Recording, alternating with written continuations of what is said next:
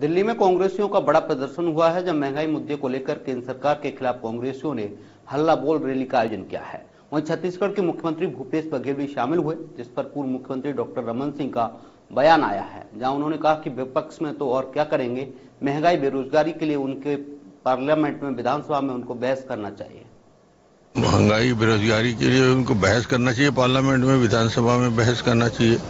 इसके लिए दोषी कौन है? इसकी बात होना चाहिए। कांग्रेस शासनकाल में क्या हालत थी उसके बारे में बात करना चाहिए। ठीक है विपक्ष में है तो क्या करेंगे? राजनीति में अब आ, इतना तो करना वाजिब है।